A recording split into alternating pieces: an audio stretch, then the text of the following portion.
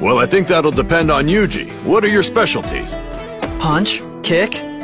We're already pretty well set for all of that. Huh? I don't know what he's been doing, since he's been dead for a while now. But I can't say this much. If we all fought him without cursed energy, Itadori'd still be... Been on back for the next say something. Never tell a back that I never stay running.